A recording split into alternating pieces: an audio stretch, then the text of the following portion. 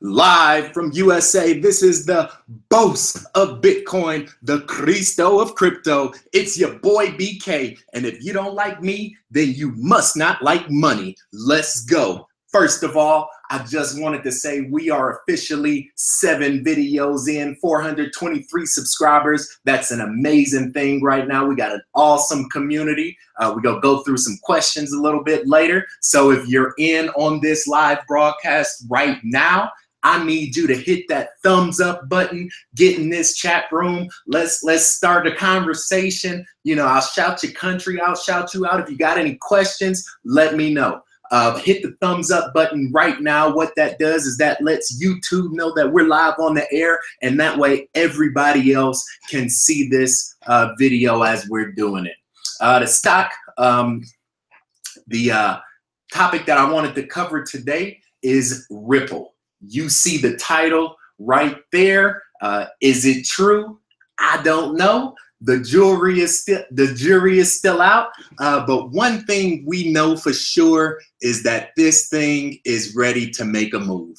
And by the time we're done uh, going over this technical analysis right here, you will uh, see exactly what we're talking about and you will agree as well. So let's get started. Um, with Ripple, again, we're on the four hour chart. Uh, this is tradingview.com. I will have uh, a link to another video that actually has all uh, the different sites I use, and you can click on that, and that'll take you directly to uh, the different sites. We got TradingView, we got Twitter, we got uh, Coinbase, Poloniex, um, a few different platforms, Google Pages, Google Plus, Google Hangouts, um, I'm thinking about doing a Google Doc or a Google Drive uh, for you guys. So one of the questions I had for you, I actually posted it as a comment. And that question is what platform, what digital platform or social media do you guys use most often other than YouTube? What I want to try to do is get a group together either on Facebook, um, TradingView, Google, whatever it is. Uh, comment in the live chat for me um, so we could we could come up with something together and we'll organize a community on there, whether it's Slack, you know, these different platforms. So uh, comment that and we'll get it together. First things first with Ripple. What do we want to do? We want to go high to high, right? And where do we do that from? If you zoom out, you can see that we have two prominent points right there and right there. And because these are high lines, what I like to do um, to show that this is a, a good trend, right? We're getting stronger. I like to put those in green, okay? And once we have that line, it's set, uh, all we do, copy, Command C, and paste, Command V. And then we move this line to where ripples started to break out. It started to break out right about there. You see that? So along this time, and this is a solid channel right here, along this time, this is the lifespan of Ripple. When it got out of that line, it said, oh my goodness, I'm outside my comfort zone. I need to come back inside the zone. And now uh, we are to what I'd like to call a decision point. You'll see that in second too.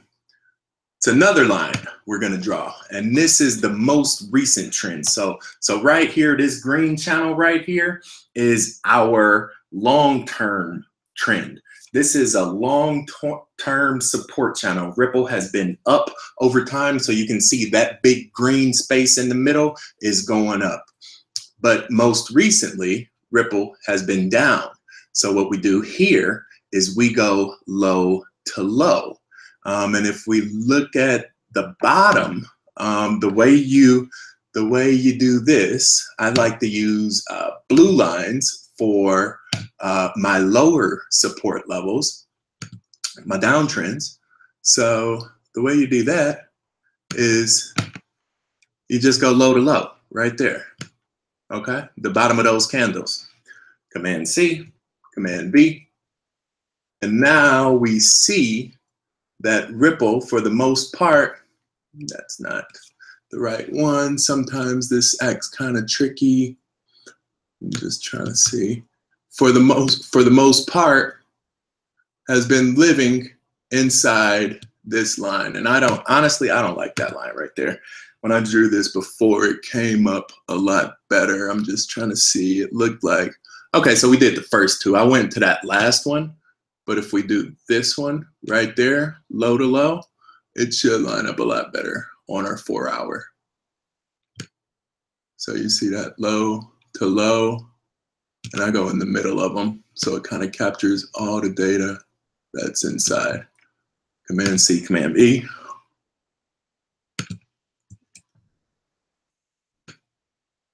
That's a lot better.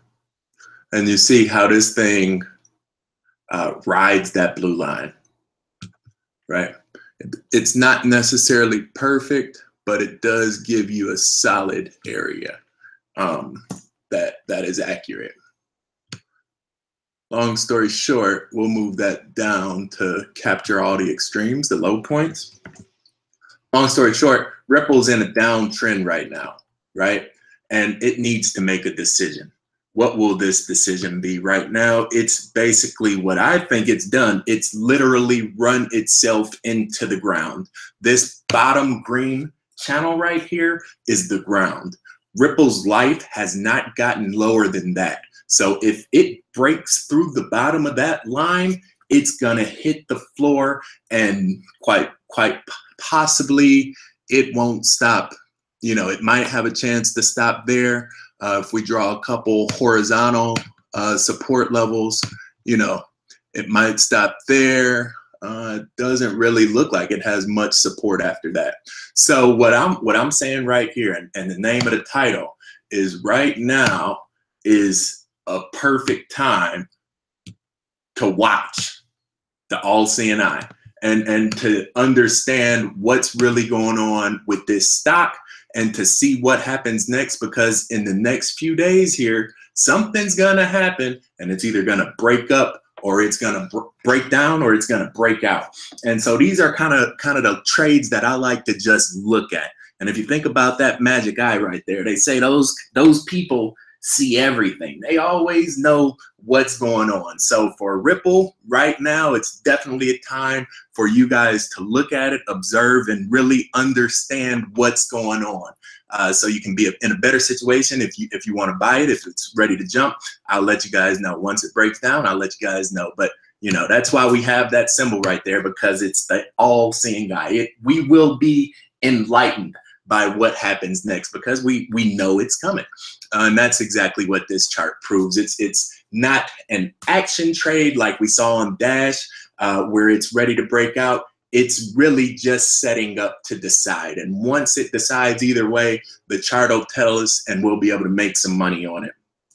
Um, if we look in our comments, uh, I'll tell you guys, you know, I, I'm on the comments literally all day, every day. So you know, whenever you have a question, don't be shy. Just jump in there. You know, there is the only the only dumb question is one that is left unasked. And so, one of the questions that we had uh, from one of our community team members, um, wouldn't USD chart be more accurate?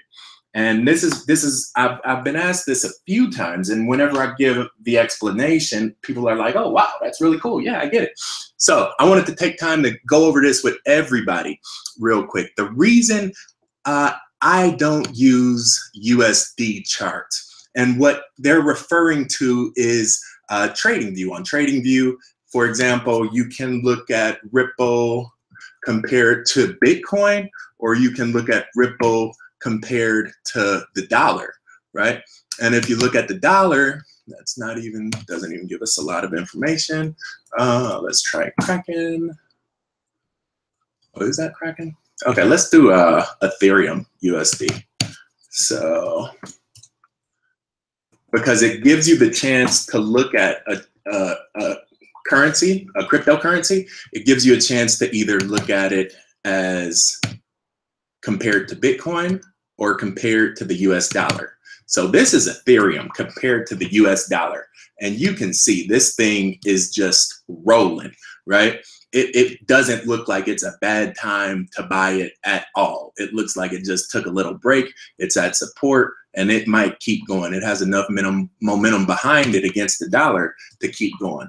But when we put it over to a Bitcoin comparison, um, it looks a lot different. So when we when we zoom in on this thing, uh, compared to the Bitcoin, it's nowhere near as strong as it was compared to the dollar. You know, it's been actually on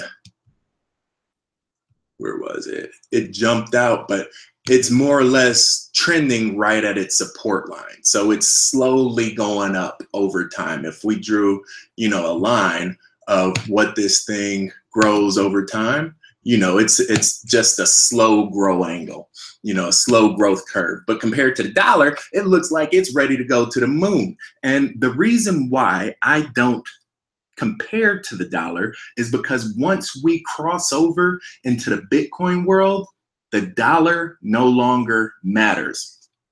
The only thing that matters is Bitcoin.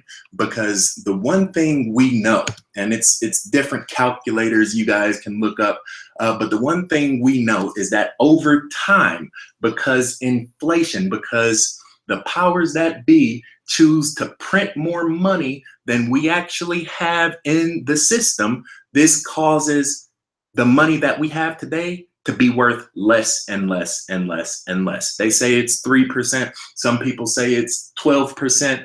I happen, you know, to have reason to believe it may be between 5 and 7%.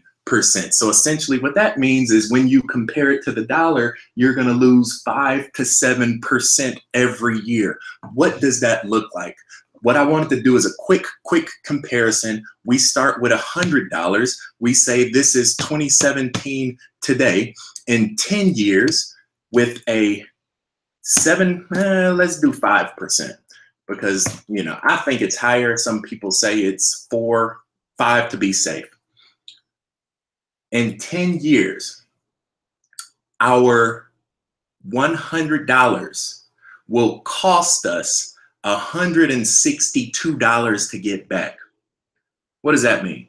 That means that our money has decreased its purchasing power by 62% in just 10 years. The old, uh, one of the old quotes used to be that, you know, every 30 years, the price of everything doubles, you know, and that's, you know, if it was, uh, I'm pretty sure they were considering this thing to be 3%. I don't even know how they got that number, but that used to be a quote. Um, I don't even think yeah, because see that's two and a half times, so that doesn't even work anymore. They were they were just screwing with the numbers, saying inflation was something like two percent, right? That might work, but we know that inflation is nowhere near this low. And so we're actually in a system now to where every seven to 10 years, the cost of everything doubles. So why do I say this? I say this because in 10 years, we know that our $100 is only going to be worth $50 due to inflation. But with Bitcoin in 10 years, how much do you think it'll be worth? That's why I don't chart to the dollar. I don't make cryptocurrency decisions based off the US dollar. I make it based off Bitcoin because I want my future net worth to be measured in Bitcoin, not in the US dollar. That's the biggest reason why. And Bitcoin cannot be manipulated by centralized uh, exchange portals, by, by commercialized financial institutions. It is a free market that individuals have the opportunity to participate in. I think that's what you guys know, and that's why I'm here to help you make money. We've all been given this chance to buy this once in a lifetime commodity at ridiculously low levels. Bitcoin in five years, we'll be looking back and, and we will say, I wish I would have bought more. And I'm telling you right now, with, with these kind of trades setting up, you will have that opportunity to make a lot more in this short term than you would just, you know, throwing money in other places. Uh, if you turn on CNN, they don't even talk about Bitcoin. Um, you know, and I don't want to use too many of these trigger words um, to uh, flag this, flag this account. I, I like to just focus on the money. Um, so yeah, that's why. That's why I don't convert to the dollar. Uh, Bitcoin is king, especially in the crypto world, and it will be huge. So when we do these trades, we don't care what it what what it charts at against the U.S. dollar. All we care about is BTC. With that being said, guys, that's all I got for you right now. Uh, this is your boy BK. Again, getting them comments. Uh, let me know what you guys are thinking. Let me know what platform you want to set up a community on, whether it's Facebook, whether it's Google Pages, whatever you guys do. Um, you know, we can we can get it together. I'll be in the uh, comments a little bit later, uh, responding back to your questions. You all have a good day, and I'll talk to you next time.